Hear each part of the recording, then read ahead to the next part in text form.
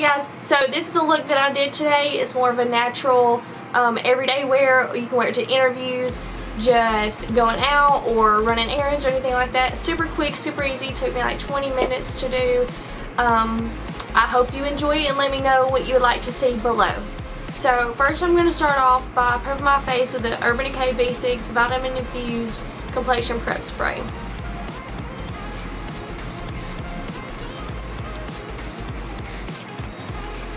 My Benefit Hello Flawless Oxygen Wow Foundation and this is in the shade Ivory. And I just like to stipple this all over my face.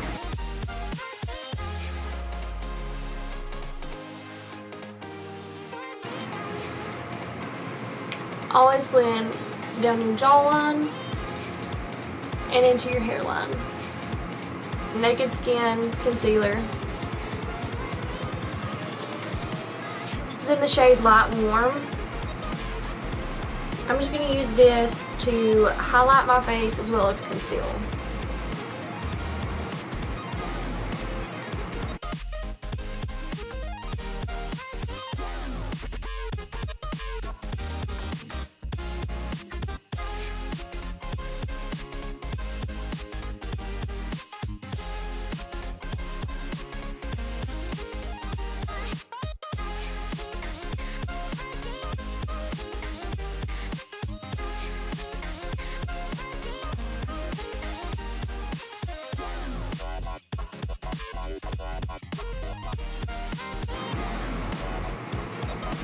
And then just set that all over the face. And with this I also like to press, that way it keeps all of my liquid, which is my concealer and my foundation in place. Rather than swiping because that's going to move the product. This is Bahama Mama bronzer by The Balm Cosmetics. This is a more natural contour rather than the cream contour and then a powder over it. And it's easy for the everyday wear. So I like to put it in the hollows of my cheek. And if you do this,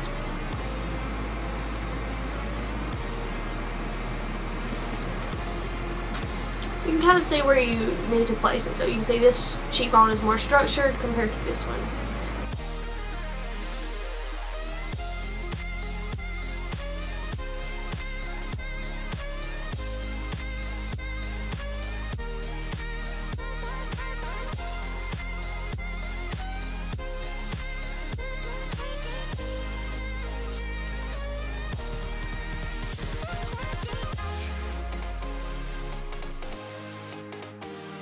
Also just take a little bit and put it down the side of my nose. And this, I'm not really contouring. I am just adding back the shadows. Okay, I said I wasn't contouring, but look at this. Okay, this, I'm just going to show you because um, you can like overdo the nose contour and this is not what you want it to look like, okay? You want it to be more subtle. I'm going to go ahead and do my blush and I'm using the MAC Melba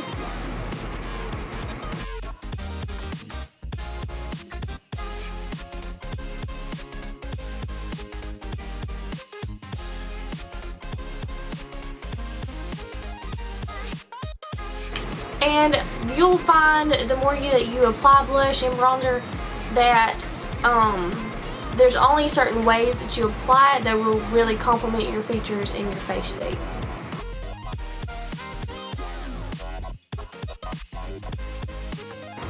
So I'm just applying this to the top of my cheekbones, the tip of my nose,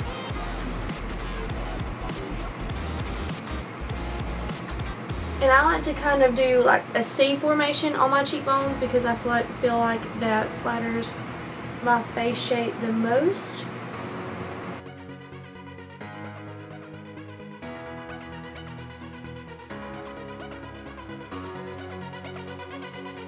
First I'm going to prime my eyelids with the MAC Soft, Over, Soft Ochre Paint Pot. And I've never used this before so I'm super excited. By Urban Decay Gwen Stefani palette. I guess I'm just going to use my finger for this.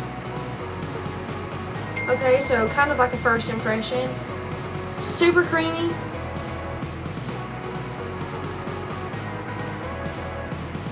very creamy. I like that. And this does have a color to it, um, so it's going to help to cancel out any blood veins or any discoloration or anything on your eyelid.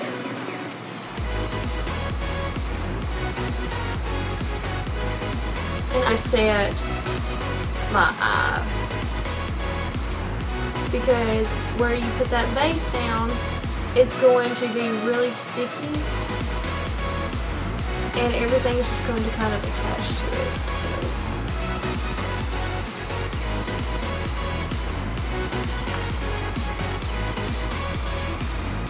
Use a face powder for this. You don't even have to use like an eyeshadow.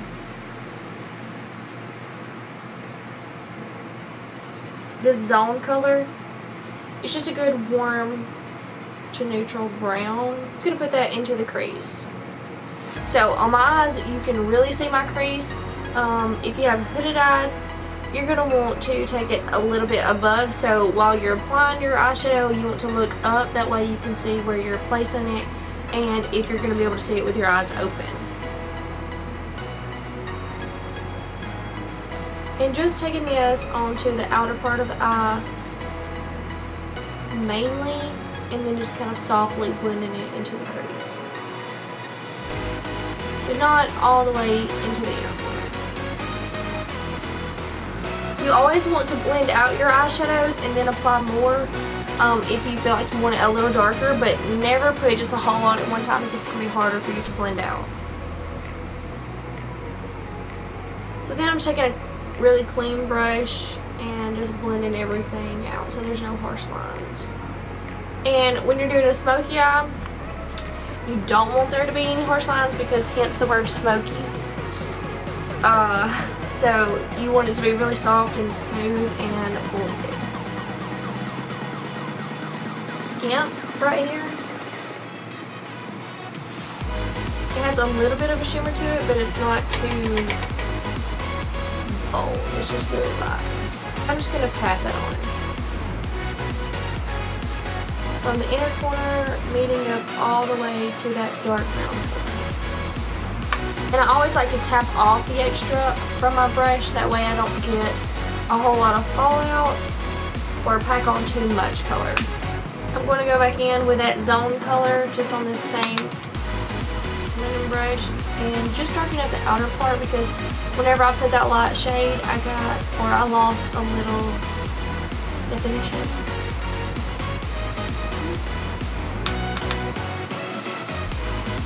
So just lightly add a little more.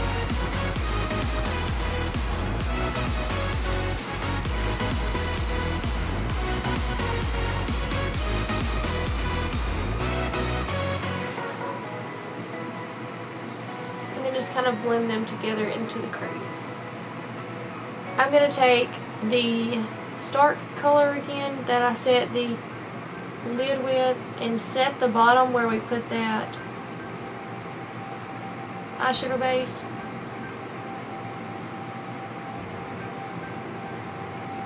Then I'm going to use Zone.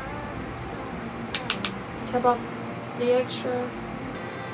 Place this right at the lash line.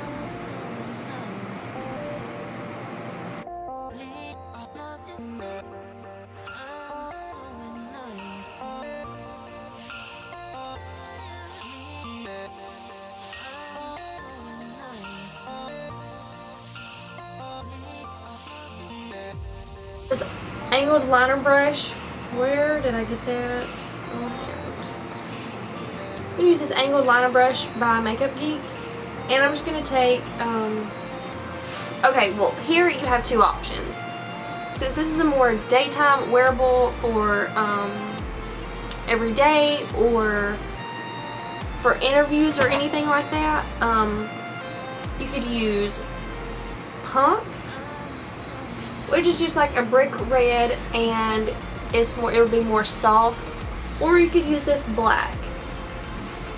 And that's going to give you more of like a that's going to be more dramatic rather than the brown but you could use either one. It's just whatever you prefer. So I'm going to take the black and I'm just going to get it on the tip of this brush and just line right up against the lash line.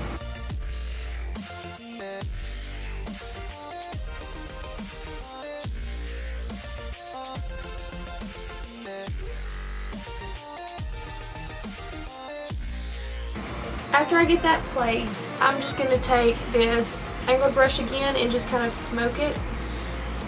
That way it's more natural and it's not as harsh or sharp. And I don't have any extra product on this brush.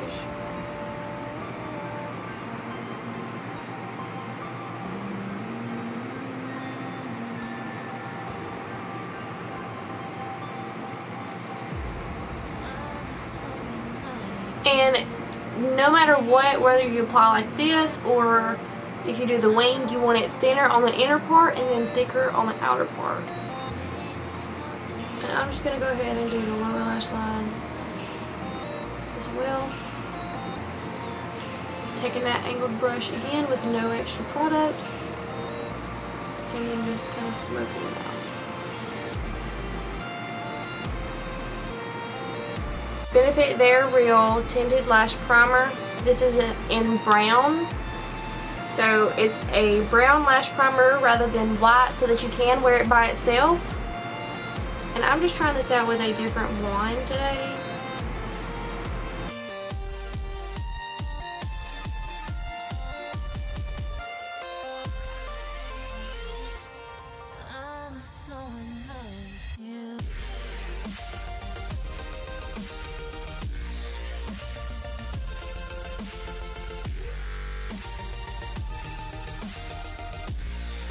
Get mascara on your eyelid or anywhere like this, leave it, don't panic.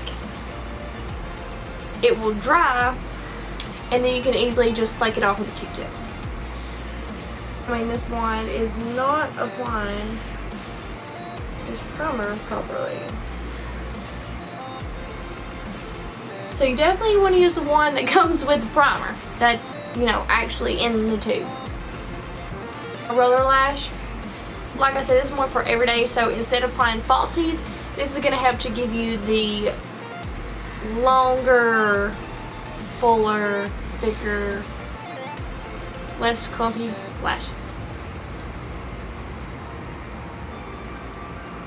This primer comes out the day after Christmas, so December the 26th. So this is just Benefit Highbrow. And I'm pretty sure it's the color linen. Then I'm just going to take it and do my waterline and that helps to make the eyes look more open and more awake. So I'm just using the 217 again in that first color or the color that we used on the lid and just applying that right underneath the brow bone. So from the arch, kind of outwards. For brows, I'm going to stay more natural. I'm just going to use Benefit Gimme Brow in the shade Medium Deep. I like to rake off all of the extra. I'm going to start right here, so in between the front and the arch of the brow. Go towards the arch. And then come back down at the tail. And then brush up in the front with whatever is left over on the wand. So that just helps to define the brow, give more structure and more volume because it has gel fibers. So the fibers attached to the brows makes them look a little thicker and fuller um, as well as giving it color. So this is super quick and easy for every day. Lips I'm going to say more natural. This is the NYX Liquid Suede Lipsticks and this is the shade Soft Spoken. It's just a light nudie pink.